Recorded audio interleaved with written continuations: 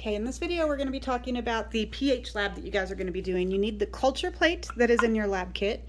You need the test, or not test tube, but the syringe that has anthocyanin in it, and it should have a sticker on it someplace that says anthocyanin. Notice that there are graduations on it that show you the volume that is in the syringe. You're going to need pipettes, one for each fluid that you're going to be pipetting.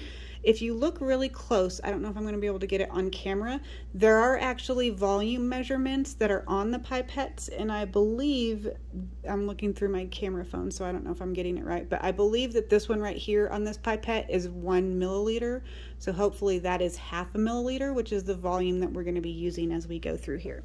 So your culture plates. Sometimes they come already pre-numbered for you so you don't have to label anything. Sometimes they don't.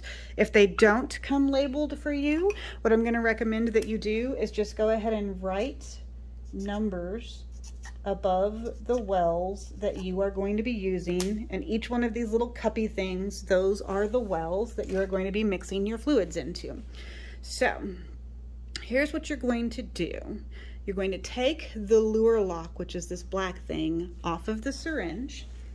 And then using the measurements that are on here, you're going to pump half a mil of your anthocyanin, which means you're going to take the plunger all the way down to two and a half, which is right there, and you're going to put that into the first well. Now your first well is going to be for your known acid. So in this beaker, I know it says starch, but that's because I was too lazy to take that off. This is vinegar. So I'm going to take half a mil of vinegar, which is up to the appropriate line on this pipette, and I'm gonna put it in here. And so what you'll notice is that there's a color change on the anthocyanin that is in there. Notice I'm keeping that pipette in that beaker. I don't want to cross-contaminate, and so that's why I'm keeping that in there. Okay, next up, I'm going to skip a couple steps just to kind of prove a point to you guys. So I'm going to do, in my well two, I'm going to go down from two and a half to two to do half a mil of anthocyanin in well two. And then this is going to be my stand-in for my baking soda solution. Let me get this down to half a mil.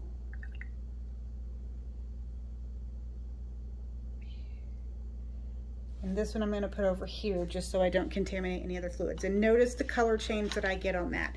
Now, baking soda that you guys are going to use is a known base. The vinegar was a known acid. You guys are going to do water, which water is supposed to be neutral.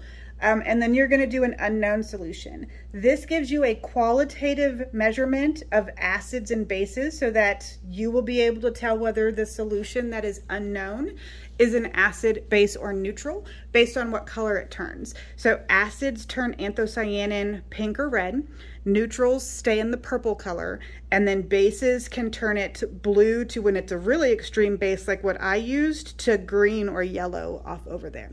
Hope that helps you complete the experiment. Good luck.